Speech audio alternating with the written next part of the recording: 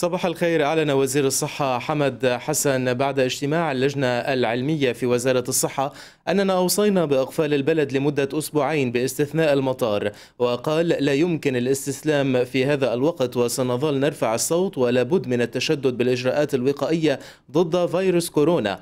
وأضاف سيتم تفعيل مركز إدارة الكوارث التابع لوزارة الصحة في مستشفى رفيق الحريري الجامعي ليعمل 24 ساعة على 24 وسيعلن عنه قريبا جدا وذلك بسبب تخلف عدد من المستشفيات عن استقبال المصابين. ولفت إلى أن كل ما نناقشه هو لتفادي الانزلاق السريع نحو التفشي المجتمعي. فمعظم المناطق اللبنانية فيها إصابات ونطلب من البلديات والمحافظين العودة إلى التدبير رقم أربعة والعمل كأن الوباء قد بدأ الآن. وتابع بالنسبة للوافدين يجب أن يتفهموا حساسية الموقف وعملا بالإجراءات المأخوذة في بعض الدول. هناك توصية بإلزام إلزامهم بالحجر لعشرة أيام وإجراء فحصي ال PCR مشيرا إلى أن هناك ضغطا إضافيا على المختبرات بسبب ال PCR والمواطنين السوريين الراغبين بالعودة إلى بلدهم ما يؤدي إلى بعض البطء في إعلان النتائج.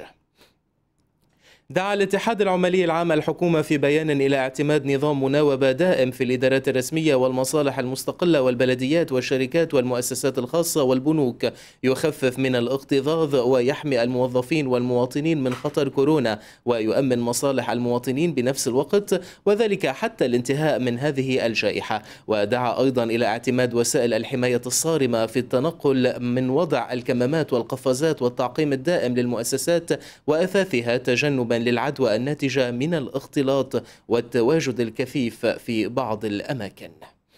دخل عدد من المحتجين إلى مبنى وزارة العمل. مطالبين الوزير لميا يمين بالاستقالة وشددوا على ضرورة تحسين أوضاع كل العاملين في البلد رافضين الصرف التعسفي الذي يتعرض له الموظفون في مؤسساتهم.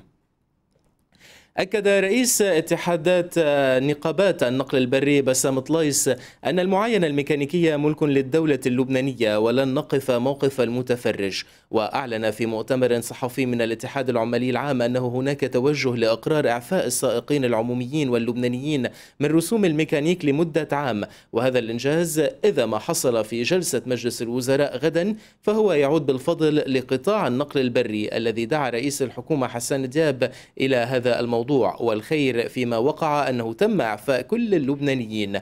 ونقول لرئيس الحكومة شكرا على المشروع ويجب أن يبصر النور سريعا. ودعا طلايس اللبنانيين لعدم التوجه لإجراء المعاينة الميكانيكية لسياراتهم لأننا ذاهبون إلى الإعفاء من الرسوم الميكانيكية. أكدت وزارة الخارجية الإيرانية أن إيران ستتخذ الخطوات اللازمة ردا على اعتراض الطائرة فوق دمشق ولجعل الأمريكيين يندمون. ورأت أن الإجراء الأمريكي الأخير هو تهديد إرهابي ينتهك جميع الأعراف والقوانين والدولية مستبعدة أن تحقق الولايات المتحدة مآربها وأن تتمكن من إجبار بقية الدول على الخضوع لما تريده.